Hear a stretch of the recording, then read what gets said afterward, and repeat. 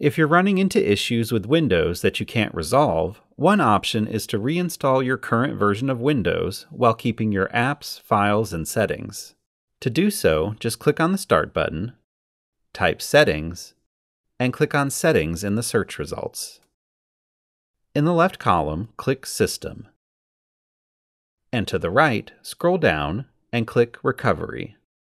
Near the top, you'll see Fix Problems Using Windows Update. To the right of it, click Reinstall Now. A window will pop up letting you know that Windows will attempt to fix issues by reinstalling Windows, and that your apps, documents, and settings will be preserved. You'll need to make sure that your PC is connected to a network and a power source. If you'd like to, you can check this box to automatically restart your PC 15 minutes after the installation is finished. When you're ready, click OK.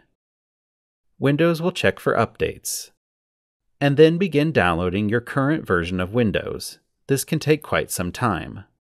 Once it's finished downloading, it'll begin installing, which can take quite a long time. These steps together may be a couple hours depending on your computer. Once it's finished installing, it'll let you know that your computer has a pending restart. Just click Restart Now. And it'll continue going through the reinstallation process. Once it's finished, you'll be able to log back into Windows. If you have any questions, you can always visit the Acer community or our Acer support site, and don't forget to subscribe.